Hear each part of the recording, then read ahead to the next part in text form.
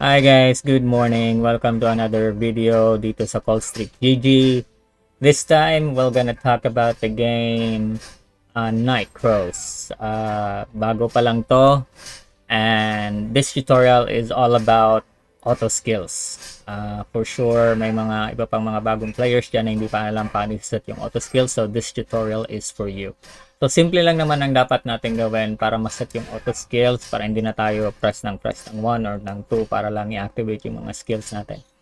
So, dito sa taas, makikita natin yung iba't ibang tabs pero i-press lang natin tong skills uh, menu natin. Tapos, dito sa baba, makikita nyo to.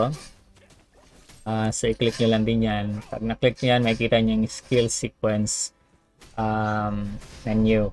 So dito, pwede nyo ilagay dito yung mga skills mula dito na gusto nyo ilagay dito. So i-click nyo lang naman yan, tapos ita-register nyo papunta dito.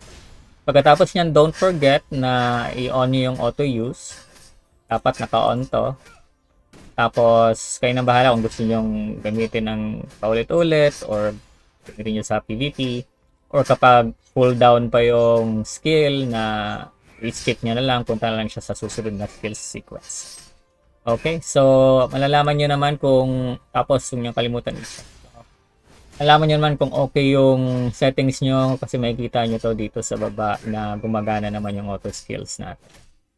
Okay, so that's it guys. Um, if you have any questions, actually pare-pares lang tayo. Mga tanong, marami din akong tanong sa game.